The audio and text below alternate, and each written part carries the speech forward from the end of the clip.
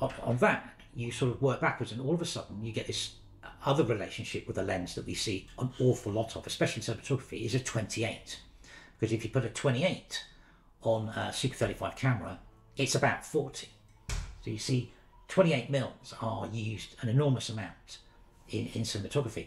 With the, the actual 40 mil though, um, I believe there was a really famous cinematographer who shot The Godfather mainly on 40 mil.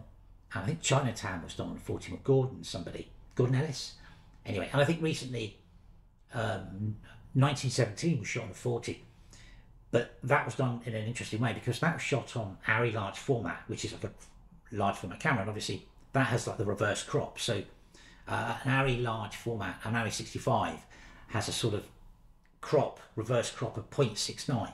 So that makes shooting a 40 on large or medium format, as it were, a 28. So you can see there's this really interesting link between the two.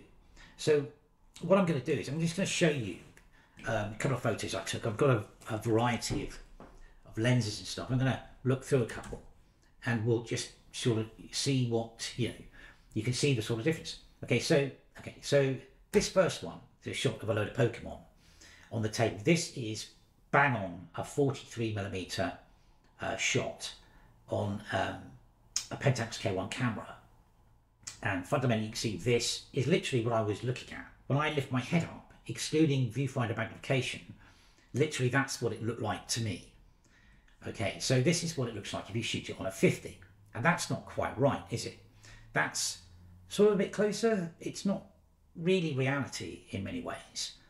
And then if you look at it on a 35, same shot, much wider, much more. I didn't see that as such. I'm looking at the bit in the middle.